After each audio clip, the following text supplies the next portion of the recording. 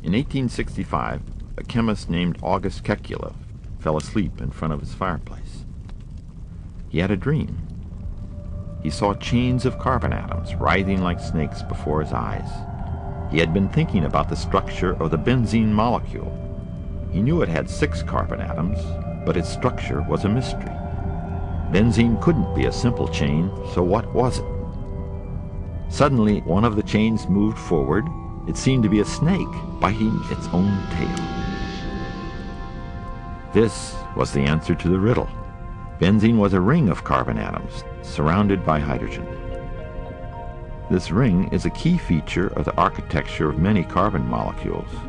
In fact, all sorts of carbon rings are found throughout our bodies and in our fuels.